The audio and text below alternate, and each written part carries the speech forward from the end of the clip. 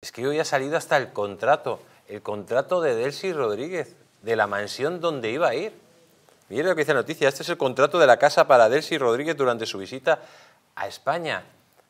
Es que lo que ya nos están diciendo abiertamente es que Delcy Rodríguez se quedó aquí en España. O sea, no es que estuviera en la zona No. internacional, en la zona BIT y se fuera, no, no, que se quedó aquí a dormir en España. No sabemos ya los días, si estuvo uno, dos o tres. Es que esto ya es un escándalo sin precedentes.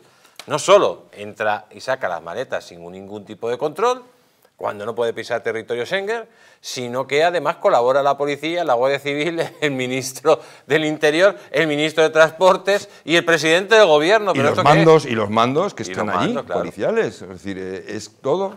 Vamos a ver, eh, es que es, eh, faltan las pruebas, ese es el problema. Tenemos que encontrar las pruebas, a ver si aparecen. Pero ya todo, tiene, todo está bastante entendible, no es muy entendible. Es decir, Delcy viene con unas maletas y el gobierno, a través de Ábalos, con el conocimiento del presidente, por lo que parece, eh, mm, pues nada, se saltan a la torera en las, en las prohibiciones de la Unión Europea, las restricciones, y la cuelan no solo en ese espacio eh, diplomático o, o- o ter- tierra de nadie, ¿no? que, que dicen que es la zona VIP, que no es tierra de nadie, es territorio español, Español.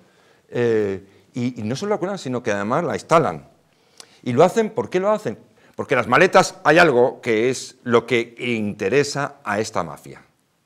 Y Delcy tiene que venir a España sí o sí, porque si no, no hay maletas.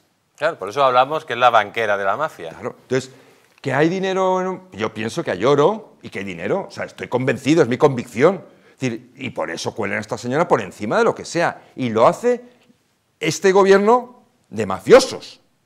Por eso nos la meten. Y da igual, no se puede estar en España. ¡Puf! Un momento que entra en el aeropuerto, zona VIP, no, es que la zona VIP es un terreno que flota en el aire, que na- no, no- no toca el suelo.